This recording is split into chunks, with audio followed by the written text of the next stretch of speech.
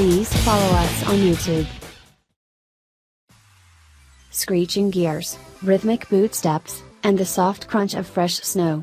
These were the first notes of my invasion. I sought the dwarfen capital of Karak-Varn. The dwarfs, hardy and resilient though they may be, were a thorn for my new allies, the green-skinned orcs and goblins. I held my siege for weeks, and while my foes' numbers dwindled, mine grew. After each clash, I wrenched the newly dead from the earth and added them to my fiendish, vampire hordes. Siege engines ready, and carried on by fresh dwarf and zombies, I steeled my undead warriors for the final assault. When the battle started, I surrounded my enemy's commander with Vargheists monstrous, man-eating bats and sent battering rams for the gates. But that wasn't enough, not nearly. Dwarfs are hardy. They rarely break ranks or flee in terror no matter how ferocious their opponent. I needed more. When the gates broke, I rushed in with ethereal cavalry, immune to normal weapons and equipped with scythes that bypassed even the sturdiest armor. In minutes, my ghastly corps had torn through Karak-Varn's defenders. This was Warhammer, and this was Total War.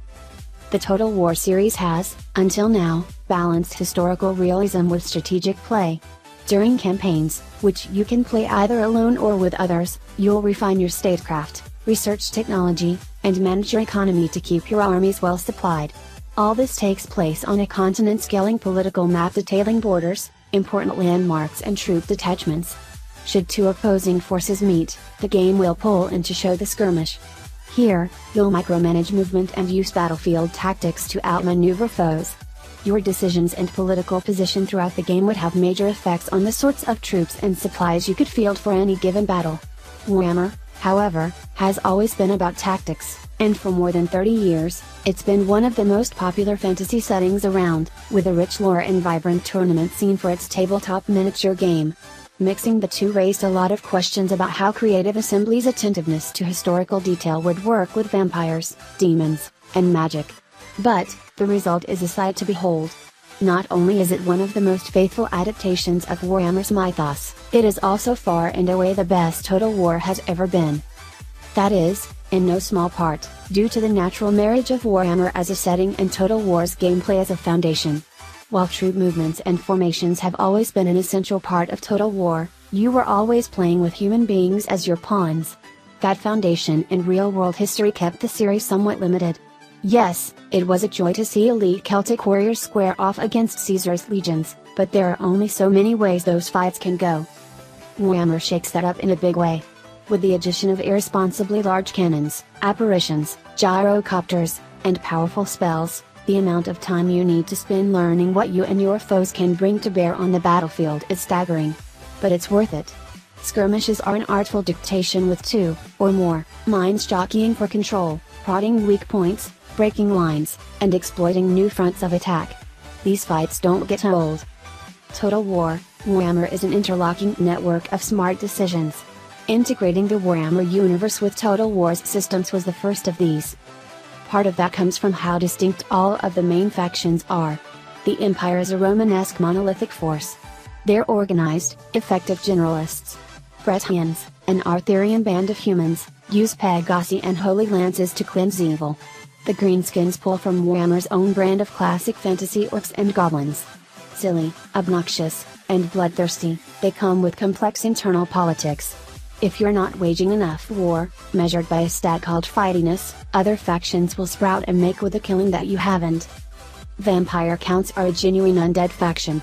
They bolster their lines by draining life from others and reviving the dead from massive battles. They can swarm the field with countless warriors and can even raise more midway through a bout.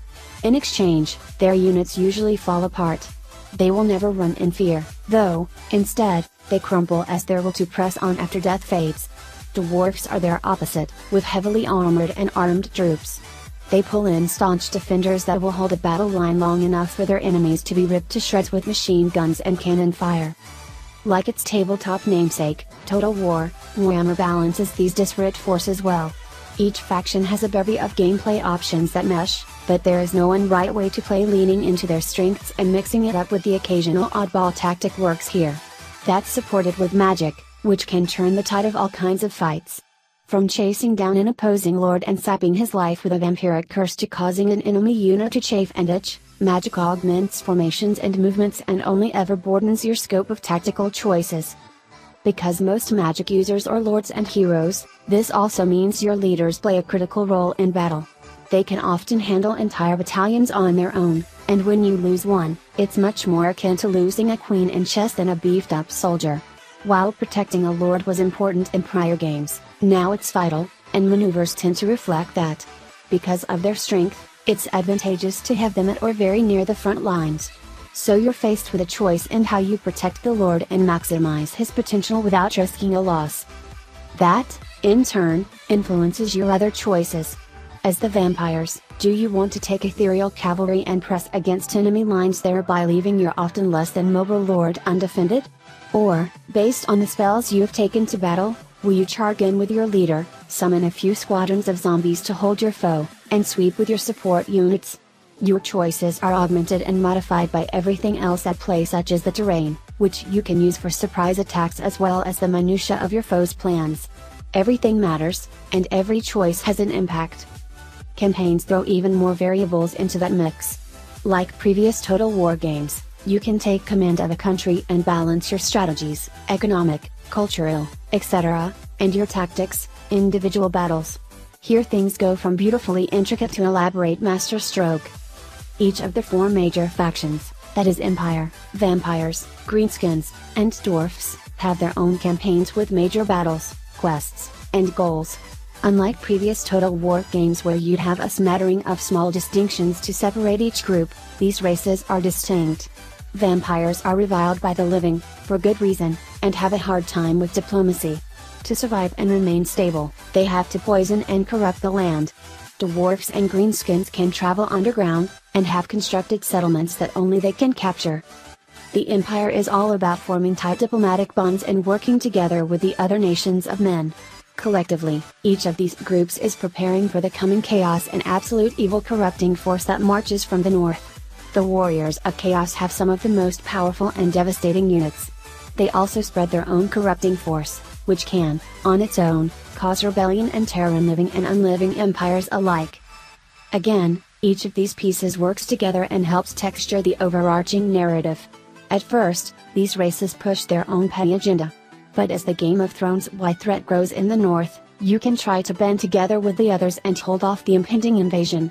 At the same time, you'll have proximal, race dependent goals for victory, which strain how you'll manage these larger threats. Vampires, for example, not only have to help stop the chaotic onslaught, but also conquer the empire and spread their vampirism. And holding off one monstrous, powerful foe while chipping away at your so-called allies is no easy task. As the campaign progresses, you'll have to manage multiple conflicts on many fronts, putting your skills to the test. Taken together, the campaign is brilliant insofar as it forces your hand and pushes you to take bigger risks, which, in turn, taxes your abilities as a tactician.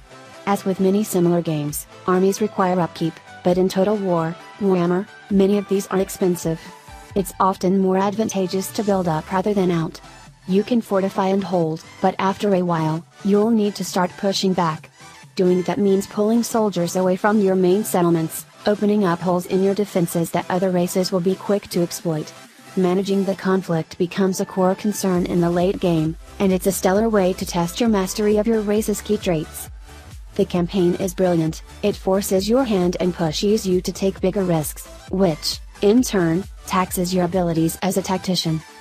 Total War, Warhammer is an interlocking network of smart decisions.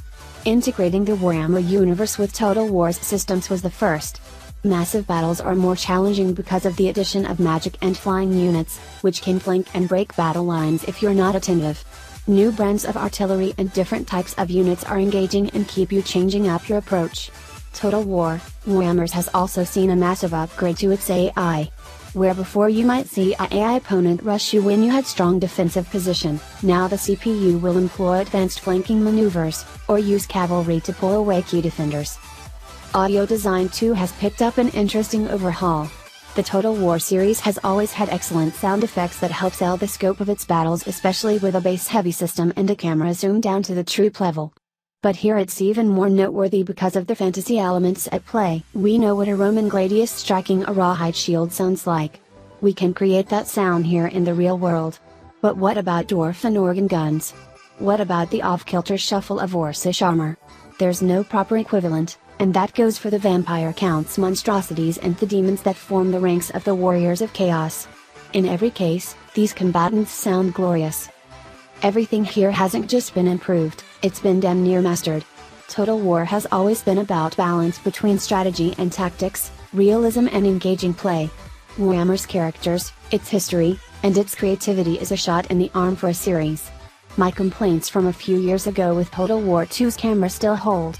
When pulling the camera out to get a better view, you can't go very far before the game switches to a full overhead view.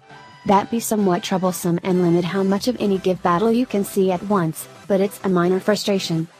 When you're in the middle of a siege and you're coordinating an assault with a friend, Total War, Warhammer approaches perfection. You'll be tested on all fronts and asked to manage complex battles with broad, nuanced outcomes. Every system and piece feeds into others, and your choices may call the difference. It's a triumph of real-time strategy design, and the best the Total War series has ever been.